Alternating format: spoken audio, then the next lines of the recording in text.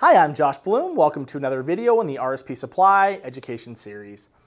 If you find that these videos are helpful to you, it certainly helps us out if you could give us a big thumbs up and subscribe to our channel. In today's video, we are going to be talking about two commonly used pieces of hardware in industrial control.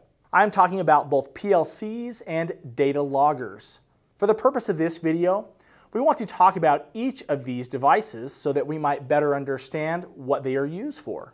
More importantly, we want to talk about the differences between these two devices and why you might choose to use one versus the other. We plan to discuss a few basic uh, examples of areas where you might use a PLC and areas where, you, where a data logger might be a better choice. By the end of this video, your understanding of these two devices and the differences that exist between them should be very clear. As always, the information shared in this video is intended to provide only a basic overview of this topic and should never take the place of proper electrical instruction. With that being said, let's take a closer look at both PLCs and data loggers and learn more about each of them to find out how they differ and where you might choose to use them.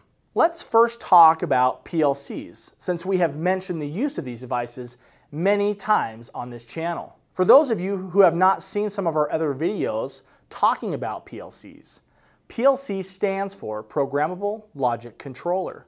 PLCs are industrial digital computers that have been modified and adapted to be more tolerant of rough and tough environments for the control of electrical processes. These processes include, but are not limited to, assembly lines, robotic devices, any activity that requires high reliability, ease of programming, and process fault diagnosis. PLCs are typically used to collect various types of data. This data is collected through the I.O. portion of the PLC. This I.O. or inputs or outputs are where sensors and instruments can be wired into the PLC. However, this information on its own doesn't enable the function of the PLC. The controller needs to be programmed. The programming language that is used with a PLC will depend on the type of PLC that is selected there are many different languages that can be used. Some PLCs even allow for multiple languages, languages to be used on the same piece of hardware. With the program loaded onto the PLC, it will then have the ability to read the inputs, and by using the code and logic that has been loaded onto it, can either assist in storing the data it collects, send that data to an HMI, or it can send output commands based off the input data that it receives. The output commands can control things like valve actuation, on-off commands to relays and contactors, and countless other tasks. PLCs can perform very complex tasks if the right kind of hardware is used and also paired with the right kind of programming. PLCs are used all over the world and perform very simple tasks to very difficult and critical tasks. Because of their ability to read and write via the connected I.O., they are perhaps the most commonly used industrial controller today. So now that we know what a PLC is, how do they differ from a data logger? And what is a data logger? A data logger, also sometimes, sometimes called a data recorder, is an electronic device that records data over time. This data is collected with either a built-in set of sensors or instruments, or also with external sensors that can be connected to the data logger, just like a PLC. One of the biggest differences between PLCs and data loggers is that data loggers don't typically require as much programming and are intended to be used only to collect data. One of the primary benefits of use, using data loggers is that they can automatically collect data on a 24-hour basis.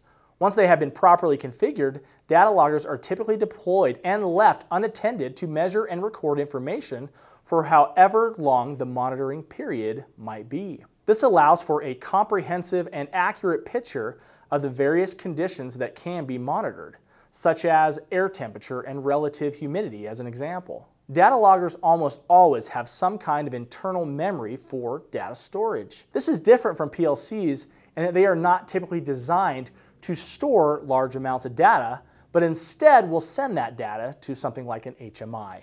While there are many similarities between these two devices, they can differ greatly in the de desired function that they are intended to perform. By having a good understanding of these two different devices, it can help you in determining which one will best suit your specific application. For a full line of PLCs and data loggers, as well as thousands of other products, please go to our website. For more information or other educational videos, go to rspsupply.com, the internet's top source for industrial hardware. Also, don't forget, like and subscribe.